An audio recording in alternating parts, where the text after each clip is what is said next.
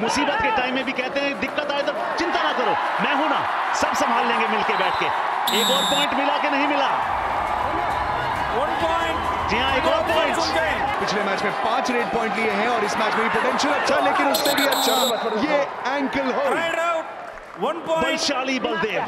Bengal warriors बिल्कुल जब छह और छह से ज़्यादा डिफेंडर्स हो तभी बोनस एक्टिव होता है लेकिन ये बोनस बहुत अच्छी चीज़ होती है पैडी क्योंकि ये बोनस लेते लेते जब स्कोर बोर्ड चलता रहता है तो प्रेशर टीम्स पे इतना कम होता है। क्या बात! लेफ़्ट कॉर्नर में सुनील। सचिन के साथ चेन सचिन और सुनील की ये चेन क्या यहाँ पर प्रपंचन को रोक पाएगी? यही देखना होगा क्योंकि अब तक डिफेंस खूबसूरत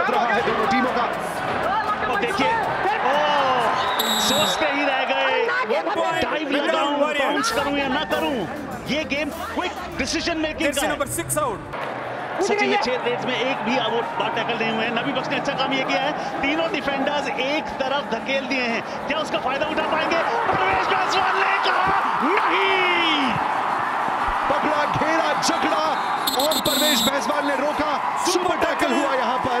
टू पॉइंट गुजरात फॉर्चून दो पॉइंट मिले गुजरात सुपर टैकल के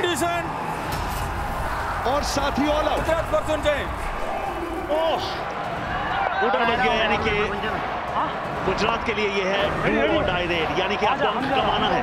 कैसे कमाना है वो आसान हो सकता है? नहीं!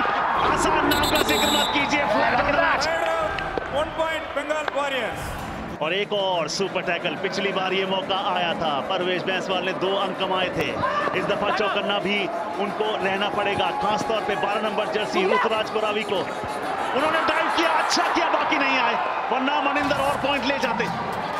जानते हैं कि यहाँ ऑल आउट कर सकते हैं गुजरात फॉर्चून जायंट्स को। अगर ऑल आउट हुआ यहाँ पर तो वो लीड बंगाल वॉरियर्स के लिए बहुत ही महत्वपूर्ण होगी। आसान नहीं होगा। परवेश बैंसवाल अगर डाइव करते हैं सचिन डाइव करते हैं एक दूसरे की सपोर्ट में आना होगा। इसलिए आप देख सकते हैं नबी बख्श कोशिश कर रहे हैं कि दोनों को एक तरफ़ धकेला जाए। 10 सेकंड से कम का समय शेष। पंगा लेना। परवेश बैंसवाल क्या फिसल बच गई थी? जी नहीं। टू प्लस टू फोर पलट के रख दिया। सफाया कर दिया यहाँ पर नबी बख्श ने। एक बार ऐसा लगने लगा था सुपर टैकल हो गया मगर सांस बाकी थी। बंगाल रेडिंग उनकी रेडिंग की बात करें छह पाँच ग्यारह तीन चौदह पॉइंट उनके रेडर्स ने दिए हैं। और इसीलिए पलड़ा भारी उनका भी। मगर ये बात कहनी होगी आज के दिन गुजरात के रेडर्स ने भी बराबर की टक्कर दी है। चौदह चौदह रेड पॉइंट अभिमन्यु दोनों के नाम। बिल्कुल अगर कमबैक की बात करें तो गुजरात फॉर्चून जायंट्स ने दिखाया तो है कि वो कर सकते हैं लेकिन प्रेशर में हो रहे हैं आज क्रम्बल रोहित गुलिया। टू और डाई रेड भी है। और सुपर टैकल अपॉर्चुनिटी भी है। गुजरात इस मुकाबले में चार पॉइंट से सिर्फ़ इसलिए पिछड़ रहा है क्योंकि सुपर टैकल की बदौलत। ये ये नहीं! आज के दिन प्रबंधन को रोक पाना मुश्किल नहीं। नामुमकिन है। आ गए हैं एक बार फिर वो खिलाड़ी जो अब तक टैकल हो ही नहीं पाए हैं अभी प्रबंधन। क्या एक और सुपर टैकल वहाँ पर जाएगा गुजरात के खेमे में? या प्रबंधन एम्प्टी रेड डालकर जाएँगे। सुपर टैकल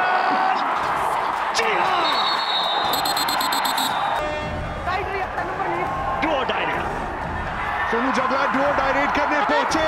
थोड़ा सा बॉडी बैलेंस खोया और एंकल होल्ड हुआ। जाना पड़ेगा बाहर। मनप्रीत देखते हुए प्रपंचन अगर इंतज़ार कर पाए डिफेंस